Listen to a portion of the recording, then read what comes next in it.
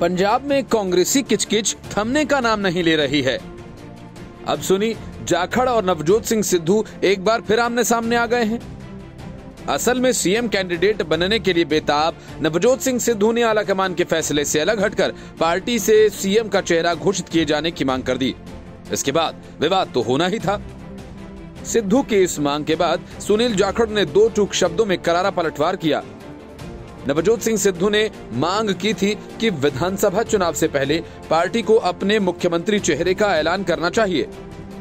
इसके विपरीत कांग्रेस की प्रचार कमेटी के चेयरमैन सुनील जाखड़ ने इससे साफ़ इनकार किया। प्रदेश कांग्रेस के पूर्व प्रधान सुनील जाखड़ ने कहा कि 2017 विधानसभा चुनाव को छोड़कर कांग्रेस कभी भी सीएम चेहरे के साथ चुनाव में नहीं उतरी। उन्होंने कहा कि 2017 का चुनाव एक अपवाद था। अब ये ज़ाहिर था कि कैप्टन अमरिंदर सिंह ही मुख्यमंत्री पद के उम्मीदवार हैं।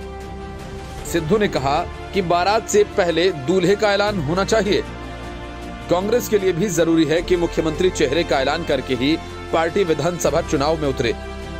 सिद्धू ने कहा कि पंजाब के लोग जानना चाहते हैं कि पंजाब को कीचड़ से कौन और कैसे निकालेगा। कांग्रेस पार्टी का रोड मैप क्या होगा? उन्होंने ये भी कहा कि मुख्यमंत्री का चेहरा घोषित नहीं करने के चलते ही आम आदमी पार्टी का जो हाल 2017 में हुआ था, वह अब कांग्रेस का होगा। उस समय कांग्रेस ने कैप्टन अमरिंदर सिंह को मुख्यमंत्री चेहरा घोषित किया था। और पार्टी को अब चाहिए कि 2022 के चुनाव के लिए भी मुख्यमंत्री का चेहरा घोषित करें। पंजाब विधानसभा चुनाव में कांग्रेस ने अपना सीएम चेहरा घोषित नहीं करने का फैसला किया था।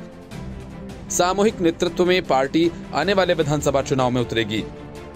कांग्रेस ने पिछला विधानसभा चुनाव कैप्टन अमरिंदर सिंह के नेतृत्व में लड़ा था लेकिन पार्टी इस बार किसी को अपना सीएम चेहरा घोषित नहीं करेगी कैप्टन अमरिंदर सिंह खुद अपनी पार्टी पंजाब लोक कांग्रेस का गठन कर कांग्रेस को चुनौती देने की तैयारी में हैं।